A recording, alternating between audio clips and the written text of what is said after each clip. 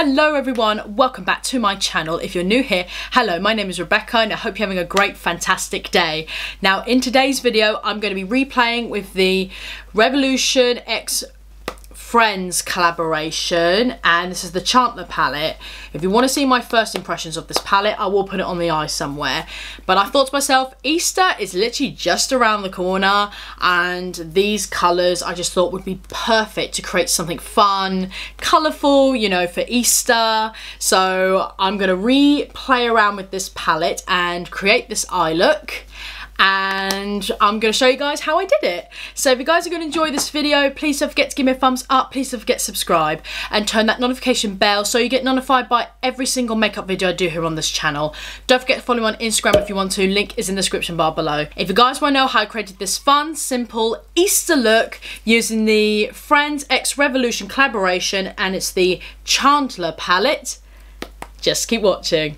Alright guys, let's replay with the Revolution Friends collaboration and this is the Chandler palette. So I just thought this palette would be perfect to replay because obviously you know Easter is just around the corner and there's so many fun bright colours in here. Well they're more neons actually I would say. You've got a few brights but kind of a couple of neons in there as well. So I thought this would be the perfect palette to do it with. So I've already primed my lid. I apologise for my hair looking a bit greasy. It does need a wash tonight. So, um, and every time I use dry shampoo, it really dries your scalp out. Is that just me? It just it just doesn't work with my hair. So that's why I don't use dry shampoo because it just it just breaks me out. Anyway, so I've already primed my lid with the Essence Eye Primer, the Eye Heart Stage eyeshadow base. So I'm using this one. It's excellent. It's only like £2.50 or something. It's a great Urban Decay dupe. Alright, so I was thinking to have some fun, like have a bit of colour under here and here, do a couple of dots, you know, just play around. First going to start with Eddie, which is the bright pink colour right here. I'm going to grab this dual-ended brush here. So it's got a brush on one end and it's an angle brush on the other. I think it's from Eco Tools, it's quite old. So I'm going to grab that. And I'm going to start working this in the crease area. I also brought the pink colour as well, just here as well. So it creates that sort of just angled look. So it goes here and then down here. So I just sort of brought it there. I hope that makes sense. Okay, so I'm going to go now with the shade Erica, which is this lighter pink colour here on a fluffy brush I'm just pretty much just gonna soften over the Eddie colour it's not a very pigmented colour but it's very good for softening out the darker colours so I'm just really making sure that those edges are nice and soft. Just going to go over it again with a bit more of Eddie, just so then we don't lose too much of the pink. I mean, these are the only two colours I'm going to work with in the crease, but I just want to make sure that pink is still a little bit vibrant, you know what I mean? Just a little bit, just so you can see it. And just go back in with a bit of Erica again, just to soften it out. Doesn't have to be perfect, I'm only going to be cutting it in a minute anyway. Okay, I'm just going to go in with the angle brush, which is on the other side of the brush and I'm just going to start cutting my lid. So I'm sort of following the eyeshadow line, so I'm sort of creating that sort of triangular sort of shape on my lid. Okay, that's what we got going on. It kind of gave me butterfly vibes for some odd reason, some really strange reason. Might do that another time, but today I'm going to stick with the look I've got in my head. I'm now going to take Hello Mr. Bing, which is this icy light blue colour. I'm just going to use that just to set the lid, really just to get rid of some of these like lid creases. Um, I'm just going to place that on top. It's not very pigmented, but it would be quite nice just to set the lid with it. If you don't have that, then you can just use translucent powder or a translucent or like a white shade. Oh, and I'm using a Superdrug brush, by the way, from one of their Christmas sets. As you can see, the colours on the lid that one and the other one, which was Erica, they're not very pigmented, but they're meant to be used for sort of like the transition colours to help diffuse the darker uh, brighter colours if that makes sense. So so they're not meant to be extremely pigmented but I'm only going to go over it with diff with coloured dots anyway so you're not going to be able to really see it the crease line.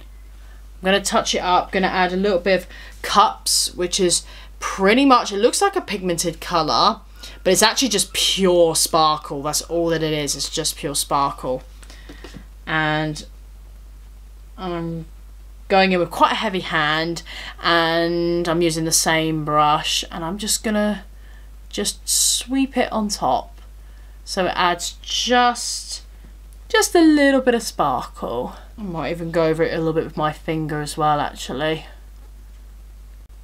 there you go and that just adds like a tiny little bit of sparkle it's not very uh, pigmented at all in fact I tried to dig into it quite deep I kind of broke a bit of the layer of it Um, but there, that just adds like a hint of sparkle. Now the fun part's the dots. I've been playing around with this. This is the Suva eyeliners. This is like the deeper one.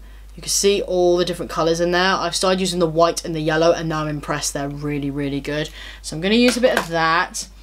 I've also got the High Vibes Water Activated Coloured Eyeliner in Wavelength by Barry M. So we're just going to have fun and chuck on some dots. So, okay, so the first colour I'm going to go in with is purple. So I'm going to take the Barry M eyeliner first. Activate it with some water. This is just the NYX Matte Finish finishing spray. Just going to take this Poundland little angled brush here just going to mix it in. I don't want it to be too liquidy, but just enough that it's creamy. So you're actually going to be able to see the pigment. So, just going to start dotting this one around first.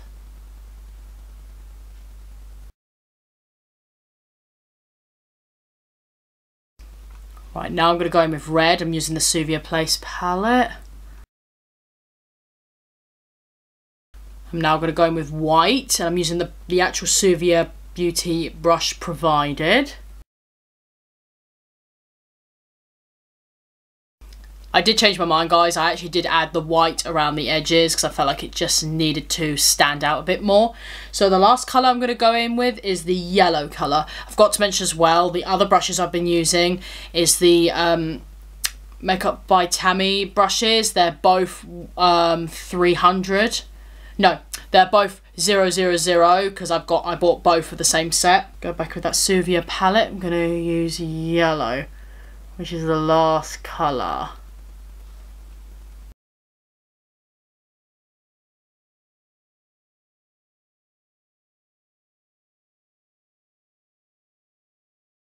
Okay guys, I think that's enough dots. I'm loving how it looks. It looks so much fun.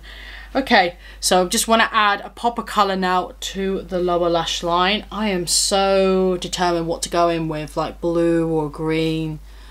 Um, I don't want to go anything too, too, like, bright, because there's a lot going on here. So I think I might take the shimmery colour here, which is Toulouse. I think I'll take that one and just run that on the lower lash line.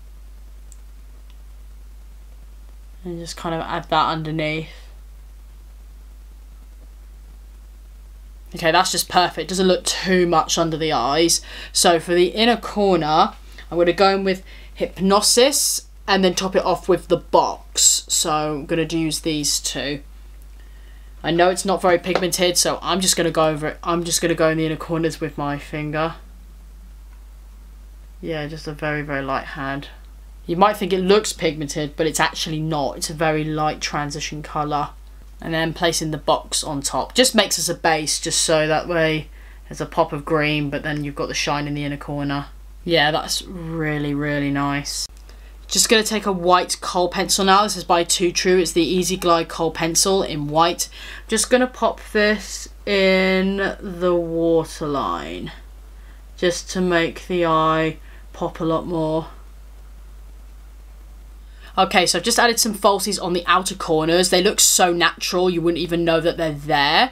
And I've just added a bit of a black liner as well because you know you get the problem with falsies where you can actually see the lash band and I really don't like that. But these are just very natural lashes. They're not too intense or anything so it doesn't take too much of the eye look. And I blended them with a bit of mascara.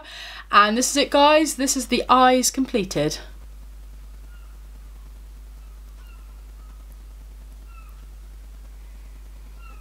I really hope you guys have enjoyed this video today. If you have, please don't forget to give me a thumbs up, please don't forget to subscribe and turn that notification bell so you get notified by every single makeup video I do here on this channel.